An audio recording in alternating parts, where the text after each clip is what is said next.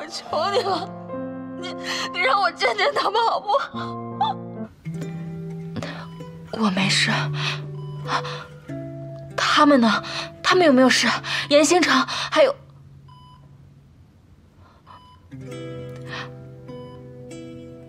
大家都没有受伤。伯父现在在休息间。你的朋友美娜就在外面。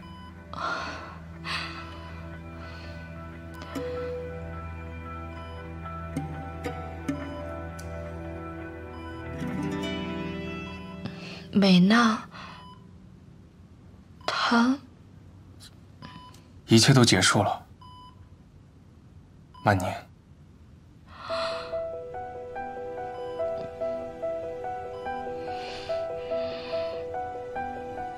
你，你叫我？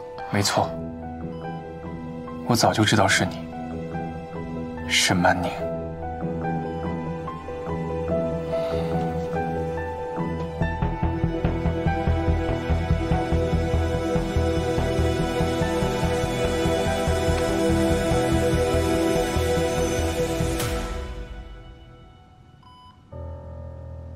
我我和严星城，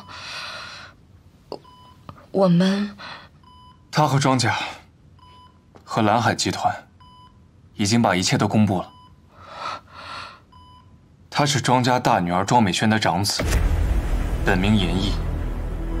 十七年前，因为随父母去海外巡视分公司，发生了严重的车祸，因而流落在海外长大。他才是庄家。真正的长孙，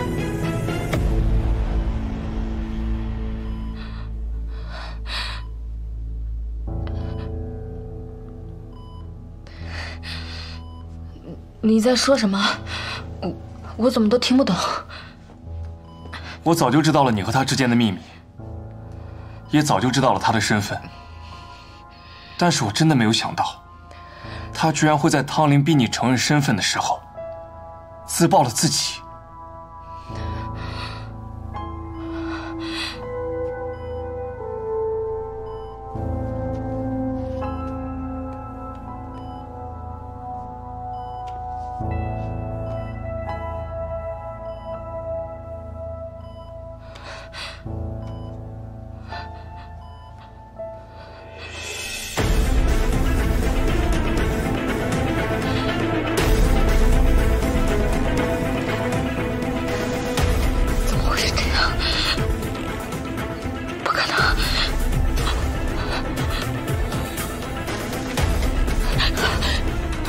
我不相信，我不相信！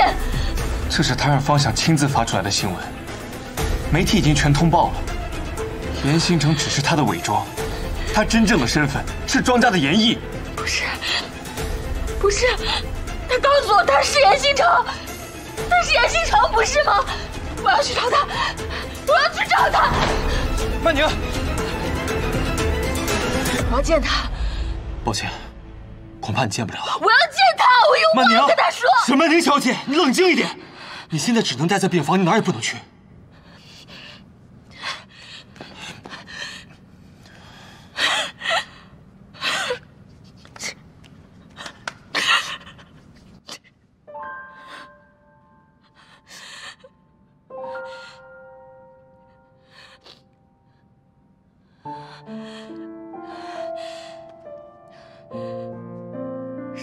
让你们来的是吗？他让你们守着我的，是不是？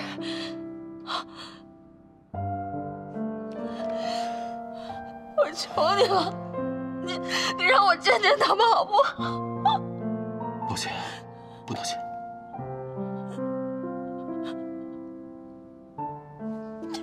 沈曼宁。沈曼宁，你闹够了没有？你现在还不明白吗？结束了，结束了！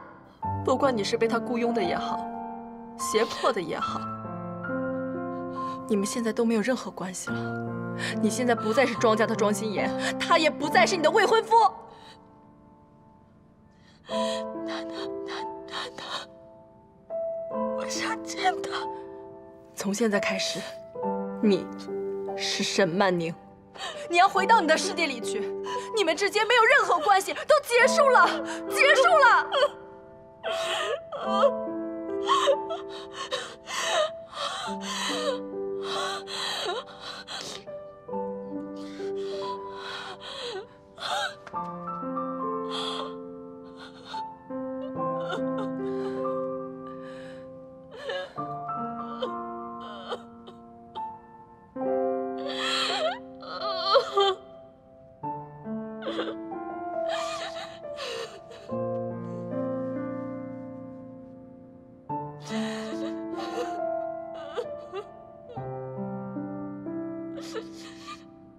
安宁，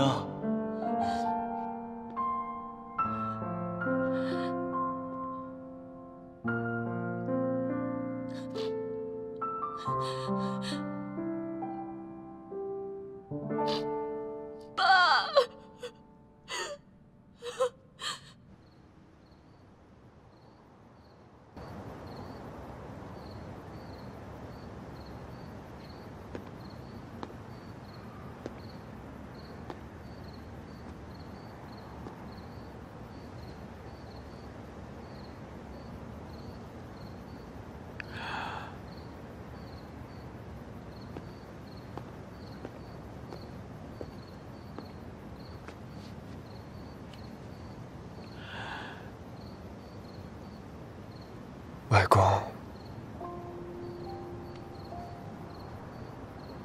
对不起，孩子，我知道你在想什么，也知道你为什么回来。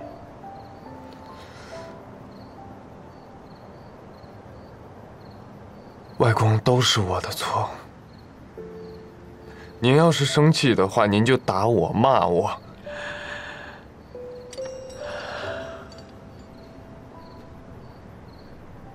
孩子，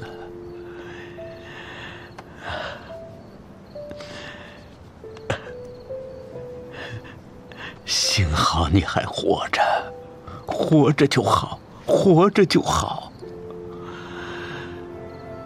我痛恨这个家，不是丢了这个，就又丢了那个。我多想没有那个十七年前。没有那个冬天，你妈妈、爸爸，你和心妍都在，那多好啊！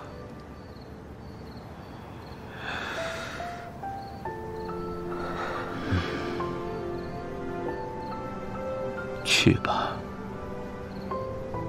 把心妍接回来吧。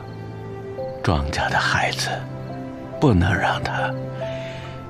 一个人孤零零的在外面，啊，